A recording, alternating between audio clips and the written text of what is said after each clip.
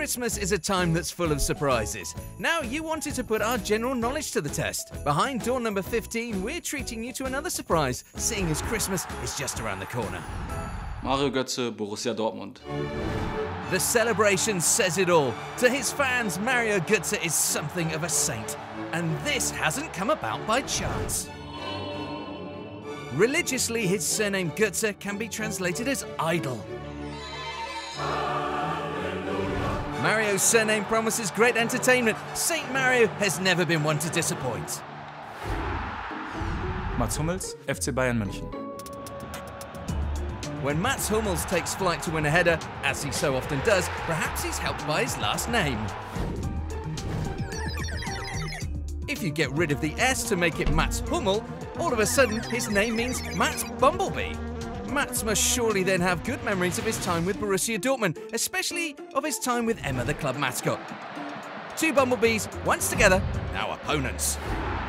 Christian Fuchs, FC Schalke 04. We've got to be careful with this one. Christian Fuchs.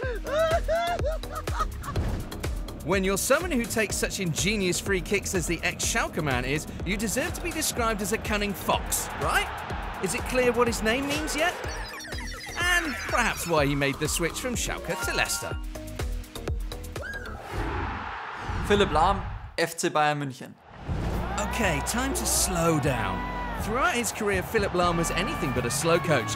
This makes him a shining example for proving that the meaning of a name doesn't necessarily reflect the person. As to a German, Lahm means slow, or even lame. At the very least, Philipp only slowed down when he was off the pitch. Torsten Lieberknecht, Eintracht Braunschweig, Head Coach. Torsten Lieberknecht is well aware of what his name means in English. Torsten Loverboy. Well, almost. Lieberknecht contains the words love and boy, but we think lover boy sounds better. But to be even more accurate, it actually means love slave.